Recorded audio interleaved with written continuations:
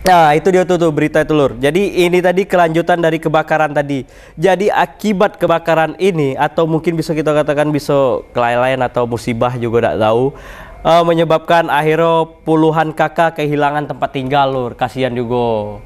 Uh, kita doakanlah semoga uh, kejadian kayak gini tidak akan terulang lagi di daerah Tungkal atau di daerah mana pun di daerah-daerah kita juga kan jangan ada lagi uh, kebakaran kejadian kebakaran kayak gini. Mungkin kita juga perlu waspada terhadap tempat tinggal kita mungkin listrik-listriknya. Ingat lur perlu kita ingat itu. Oke? Okay? nah itu tadi beritanya. Yang ketiga kebakaran kita masuk berita selanjutnya nih. Setelah dari kebakaran kita pindah ke mungkin tentang tentang kesehatan atau pengamanan dari obat-obatan kosmetik gitu. Jadi ini ada sosialisasi makanan obat dan kosmetik. Aman. Anggota Komisi 9 DPR RI Sultan Adil Hendra atau yang kerap disapo sah. Oh, sah bersama Balai POM Jambi kembali melakukan sosialisasi pemberdayaan masyarakat terkait kepedulian tentang obat, makanan dan kosmetik. Kegiatan ini diikuti oleh puluhan peserta dari komunitas gerakan Ayo Mengaji. Nah, jadi ini ada komunitasnya Ayo Mengaji mengenai obat-obatan dan kosmetik. Kayak mana beritanya? Kita tengok. Ini dia beritanya. Anggota DPR RI Komisi 9 Sultan Adil Hendra terus berkomitmen dalam totalitas pengabdian kepada masyarakat. Hal ini dapat dilihat dirinya bersama Balai POM Jambi kembali melakukan sosialisasi pemberdayaan masyarakat terkait kepedulian tentang obat, makanan, dan kosmetik pada Jumat 28 Oktober 2022 pagi. Sosialisasi ini diikuti oleh peserta dari komunitas gerakan Ayo Mengaji Kota Jambi. Dalam paparannya, Sah yang dikenal sebagai Bapak Beasiswa Jambi juga mengatakan ingin masyarakat saat kerangka tersebut sehat. ditemukan memang hal tersebut melalui masyarakat terutama yang korban. berada di Telanai Pura dan Danau Sipin dapat terus disosialisasikan kepada masyarakat untuk mencerahkan dan literasi agar tidak mudah tertipu dengan obat, makanan, dan kosmetik yang terbukti belum aman dikonsumsi. Masyarakat juga harus cerdas dalam memilih obat, makanan, dan kosmetik dengan menerapkan ceklik atau cek kemasan, label dan izin edar serta kadaluarsa yang terpenting ada logo serta izin dari Balai POM.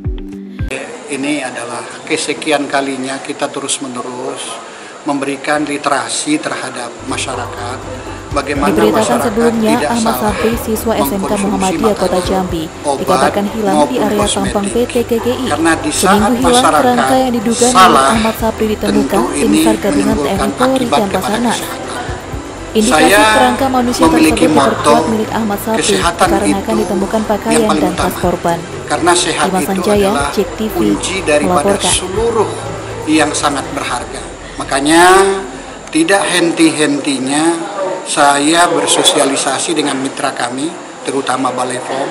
Sementara itu, Kepala Balai POM Jambi Alexander mengapresiasi kegiatan sosialisasi ini dalam rangka menciptakan konsumen cerdas sehingga tercipta sumber daya manusia yang unggul.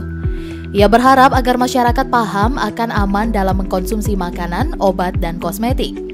Uh, hari ini kita mengadakan sosialisasi pemberdayaan masyarakat, yaitu komunikasi, informasi, dan edukasi bekerjasama dengan Komisi 9 DPR RI, Bapak Sah. Dalam hal ini kita melakukan uh, pembinaan edukasi ke masyarakat terkait dengan obat, makanan, kosmetik, obat tradisional yang aman untuk dipakai, untuk dikonsumsi.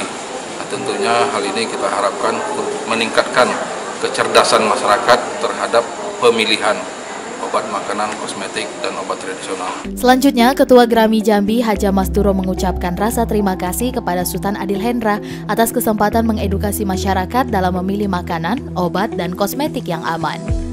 Ia berharap para peserta dapat menerapkan di kegiatan sehari-hari. Dengan harapan kepada masyarakat untuk memilih dan membeli makanan, obat, ataupun kosmetik yang aman dikonsumsi.